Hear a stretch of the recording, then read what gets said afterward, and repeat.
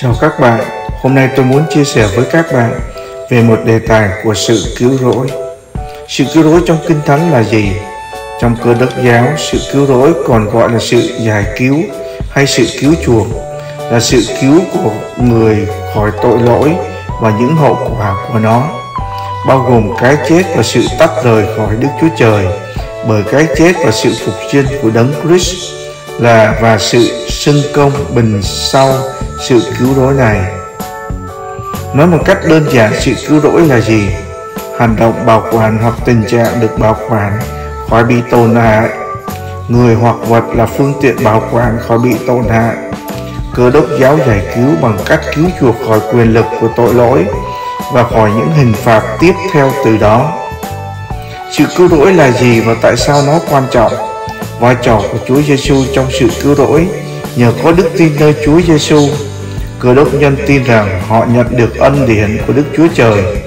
Điều này có nghĩa là họ tin rằng Đức Chúa Trời đã ban phước cho họ, từ đó ban cho họ sức mạnh để sống một đời sống cơ đốc tốt.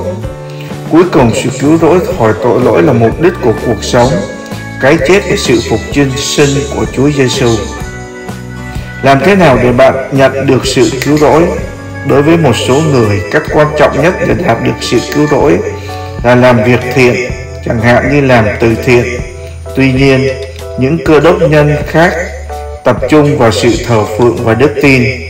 Hầu hết các cơ đốc nhân tin rằng mọi người có thể đạt được sự cứu rỗi bằng cách tuân theo luật pháp của đức chúa trời, được tìm thấy trong kinh thánh. Bạn cầu xin chúa giêsu cứu rỗi như thế nào? Kính thưa chúa giêsu tôi biết rằng tôi là một kẻ tội lỗi và tôi hỏi xin sự tha thứ của bạn tôi tin rằng ngài đã chết vì tội lỗi của tôi và đã sống từ cõi chết. Tôi từ bỏ tội lỗi của mình và mời ngài đến trong trái tim và cuộc sống của tôi. Tôi muốn tin cậy và đi theo ngài và tư cách của chúa và là đấng cứu rỗi của tôi. Sự cứu rỗi là gì và nó đạt được như thế nào? Theo hầu hết các giáo phái, sự cứu rỗi được cho là một quá trình bắt đầu khi một người lần đầu tiên trở thành cơ đốc nhân tiếp tục trong suốt cuộc đời của người đó và hoàn toàn khi họ đứng trước đấng rít trong sự phán xét. Sự cứu rỗi có thực sự miễn phí không? Hãy bắt đầu bằng cách xác nhận sự thật rằng sự cứu rỗi không phải là thứ mà người ta có thể mua được hoặc công đức bằng cách làm việc thiện. Phaolô bày tỏ rõ ràng sự thật rằng sự cứu rỗi đời đời là món quà của Đức Chúa Trời. Anh ấy thậm chí còn chỉ định rằng đó là một món quà miễn phí. Chương trình cứu rỗi của Đức Chúa Trời là gì? Theo thuyết học của phong trào Lederdesen, các kế hoạch của sự cứu rỗi hay còn gọi là kế hoạch của hạnh phúc và kế hoạch cứu chuộc là một kế hoạch mà Thiên Chúa tạo ra để tiết kiệm, mua lại và đề cao nhân loại nhờ sự chuộc tội của Chúa Giêsu Kitô. Quà tặng của Thiên Chúa là gì? Những món quà cũng như được phân loại là những món quà thúc đẩy sự phát triển bên trong của hội thánh. Sứ đồ lời tiên tri phân biệt những các linh hồn, sự dạy dỗ lời thông thái, kiến thức, sự giúp đỡ và quản trị và những món quà thúc đẩy sự phát triển bên ngoài của hội thánh. Đức tin phép lạ, chữa bệnh tiếng lạ, giải thích tiếng lạ. Vai trò của Chúa Giêsu trong kế hoạch cứu rỗi là gì? Trọng tâm của kế hoạch cứu rỗi này là vai trò của Chúa Giêsu Kitô.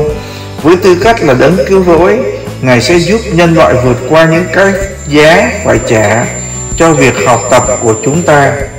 Cụ thể là tội lỗi hoặc sự xa cách với Đức Chúa Trời thông qua sự ăn năn, sự tha thứ, các giao lễ, tuân giữ các giao ước và làm theo lời dạy và tấm gương của Ngài. Sự cứu chuộc có giống như sự cứu rỗi không? Trong thần học cơ đốc giáo, sự cứu chuộc đề cập đến việc giải cứu cơ đốc nhân khỏi tội lỗi. Nó đảm nhận một vị trí quan trọng trong sự cứu rỗi bởi vì những vi phạm được đề cập là phần của hệ thống vĩ đại chống lại sức mạnh của con người. Sự cứu rỗi qua việc tốt là gì?